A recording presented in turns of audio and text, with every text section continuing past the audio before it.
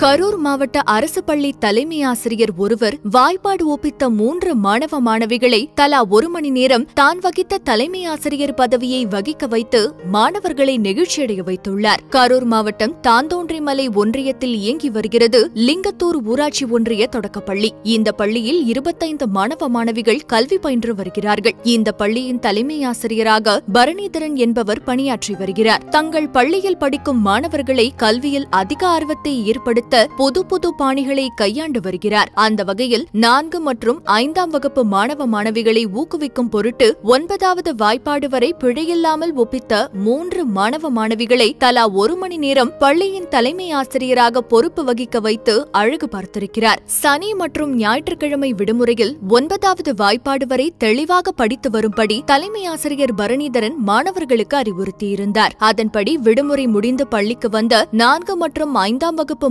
மாணவர்களை வாய்ப்பாட்டை ஒப்பிக்க வலியுறுத்தினார். ஒன்பதாவது வாய்ப்பாடு வரை தவறில்லாமல் மாணவிகள் ஜனனி சத்யபிரியா மற்றும் மாணவன் லோகேஷ் ஆகியோர் ஒப்பித்தனர். அவர்களை பாராட்டிய தலைமை ஆசிரியர் பரணிதரன் அவர்களை கௌரவிக்கும் விதமாக தான் வகித்து வந்த தலைமை ஆசிரியர் பதவியை அந்த மூன்று மாணவர்களுக்கும் அளித்து மூன்று மாணவர்களையும் தலா ஒரு மணி நேரம் தலைமை ஆசிரியர் பதவியை வகிக்க வைத்தார். இதுகுறித்து பள்ளியின் தலைமை ஆசிரியர் பரணிதரனிடம் பேசினோம். மாணவர்களுக்கு கல்வி கற்பதில் ஆர்வத்தை ஏற்படுத்த புதிய வழிமுறைகள் கையாண்டுட்டு வர. அந்த வகையில தான் ஒன்பதாவது வாய்ப்பாடு வரைக்கும் ஒப்பிக்கிற மாணவர்களுக்கு தலைமை ஆசிரியர் பதவியை வகிக்கும் உரிமையை கொடுக்க நினைச்சேன். நான்கு மற்றும் ஐந்தாம் வகுப்பு மாணவ மாணவிகள்ல இந்த மூன்று மாணவ மாணவிகள் தான் ஒன்பதாவது வாய்ப்பாடு வரைக்கும் தடுமாறாம ஒப்பிச்சாங்க. அந்த மூன்று மாணவர்களுக்கும் தலா ஒரு நாள் தலைமை ஆசிரியர் பதவி வழங்கலாம் அப்படின்னு நினைச்சேன். ஆனா அப்படி பண்ணா பள்ளி நிர்வாக பணிகள் பாதிக்கப்படும் அப்படிங்கறதால மூணு பேருக்கும் தலா ஒரு மணி நேரம் தலைமை ஆசிரியர் பொறுப்பு வழங்கின அதன்படி பகல் பனிரெண்டு முதல் ஒரு மணி வரைக்கும் ஜனனி பிற்பகல் இரண்டு முதல் மூன்று வரைக்கும் லோகேஷ் பிற்பகல் மூன்றுல இருந்து நான்கு பத்து மணி வரைக்கும் சத்யபிரியான்னு மூணு பேர் தலைமை ஆசிரியர் பதவியை வகிச்சாங்க. அவங்க பதவி வகிச்ச அந்த நேரத்துல தலைமை ஆசிரியர் இருக்கையில அமர்ந்து மாணவ மாணவிகளின் குறிப்பேடுகளை ஆய்வு செஞ்சாங்க. இந்த முயற்சி மாணவர்கள் கிட்ட அதிக ஆர்வத்தை ஏற்படுத்தியிருக்கு. அதனால இனி வாரந்தோறும் பாடங்கள்ல கேள்விகள் கேட்கப்பட்டு இப்படி சரியா பதில் அளிக்கிற மாணவர்களுக்கு தலைமை ஆசிரியர் பொறுப்பு வழங்கப்படும் என்று கூறினார். மேலும் இதுபோன்ற செய்திகளை தெரிந்து கொள்ள வீடியோக்கு கீழே உள்ள சப்ஸ்கிரைப் பட்டனை கிளிக் செய்யுங்கள். மேலும் லைக் ஷேர் கமெண்ட் செய்யுங்கள். கூடவே பெல் ஐகானையும் கிளிக் செய்யுங்கள்.